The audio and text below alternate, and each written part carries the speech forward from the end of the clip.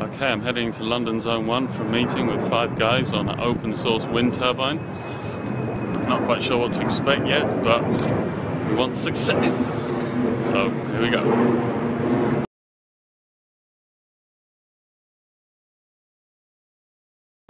Okay, so here we are with Alvaro in London. We've just had a meeting, a conversation about wind turbines. Um, there's a project starting out, starting up to push for an open source wind turbine, the development of a wind turbine.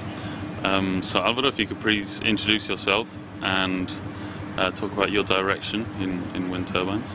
So, um, I've been working for a couple of years in the wind industry, and I've joined this group because I'm really interested in the open source ecology project, and uh, I'm hoping that in the European team we can contribute towards designing or building this open source wind turbine.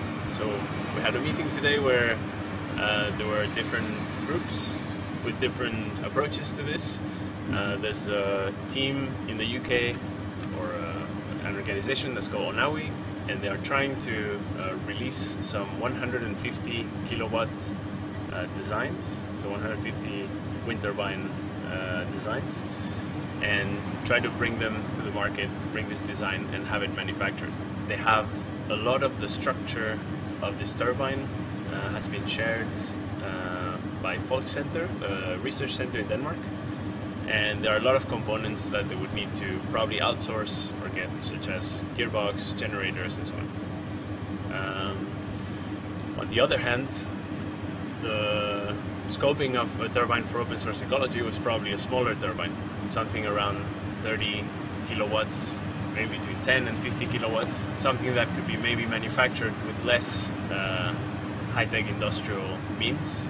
Um, and basically, we've been trying to see where we can overlap, where we can use the synergies uh, to collaborate and using things that are already available and open, whether it's tools or software or uh, things like uh, the tools from NREL, for example, the National Renewables Energy Lab in the US, or things from uh, Folkecenter in Denmark, and all these things, electronics, sensors, and so on, and how things that are already open source can be integrated to make uh, a turbine of this sorts.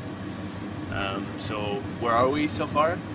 Well, uh, we've defined how at least the team that we were here, which was five people, how we wanted to get involved, uh, what we wanted to achieve in the next months, which is basically a little bit of documentation, uh, a little bit of contacting experts, see what sources of funding there is, and uh, that's about it. We still need to define maybe what would this turbine um, power? What would it power? Um, how expensive would it be? What materials? How? What techniques of manufacturing would we allow ourselves to use, and so on. So I think that's the next step.